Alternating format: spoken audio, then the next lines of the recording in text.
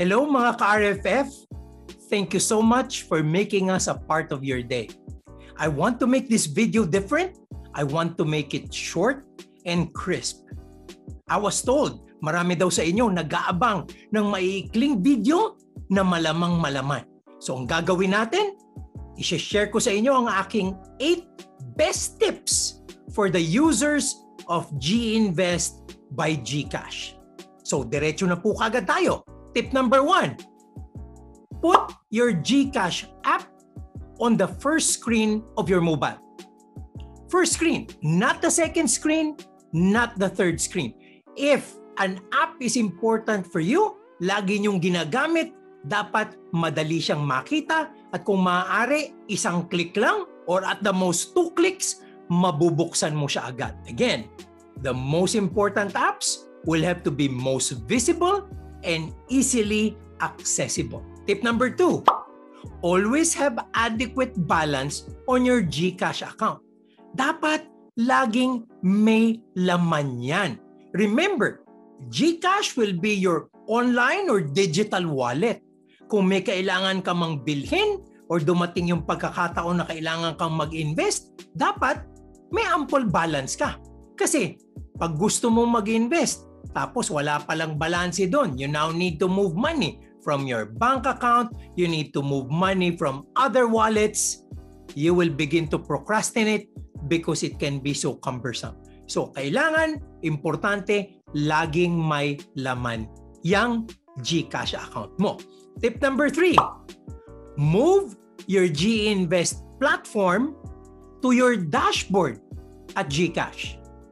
Again, out of sight, out of mind. Ang importanteng application dapat madaling makita and should be most accessible. Yan ay talagang magandang gawin if you want to consistently improve your investment discipline. And for those of you who will need help, nandun yan sa aming walkthrough video ng G-Invest by GCash. Tip number four, set regular reminders so that you will be prompted to invest by G-Invest by GCash nandun din yan sa aming walkthrough video.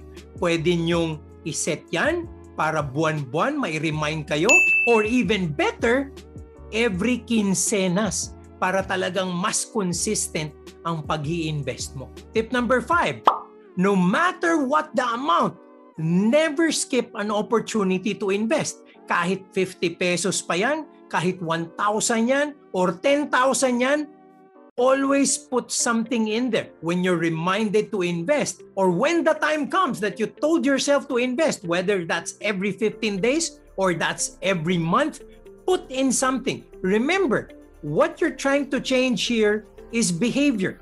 And because it is behavior, ang mas importante is not the amount, it is the habit.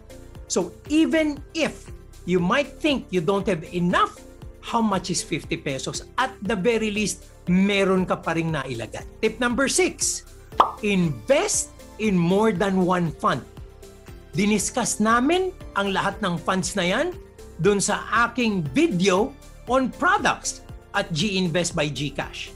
So, dun na i-discuss natin lahat ng klase ng funds. Pumili kayo, hindi isa.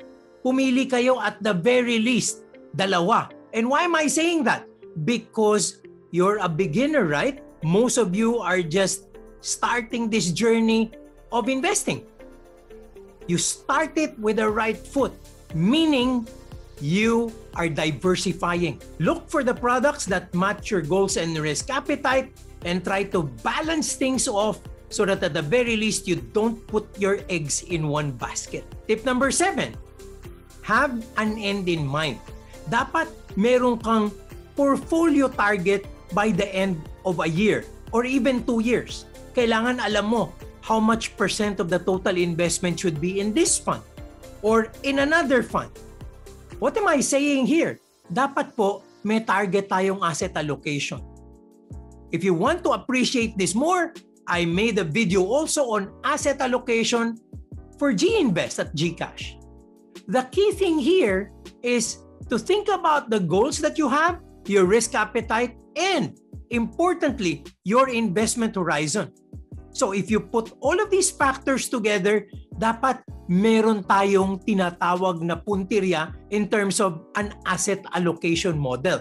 Dapat ba 20% nasa fixed income? Dapat ba 50% nasa equities? How much ang local? How much ang abroad? Dapat yan, hindi basta lagay ng lagay tapos makikita mo na lang kung anong itsura. Hindi. Dapat yan, may end in mind ka para buwan-buwan alam mo kung saan mo nilalagay to be able to get where you want at the time you want it to happen. Tip number eight, always build up on your knowledge and appreciation of investments.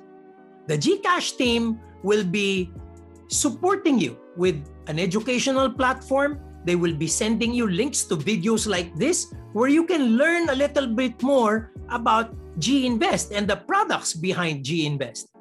We've run a bunch of videos that you can check out. But moving forward, you have to seek out more information because the more you understand the investment products, the way they perform, the way they match your needs, your confidence will increase because you know you're going to be on the right track. Next best tip. Oops, sobra na yata. Di ba sabi ko, 8 best tips? E pang siyam na to. Hindi pala tip ito, request. Like this video, subscribe to our channel, and hit the notification bell so that we can inform you of the upcoming powerful videos that we're going to post. Until the next video, mga ka-RFF, stay safe and blessings always.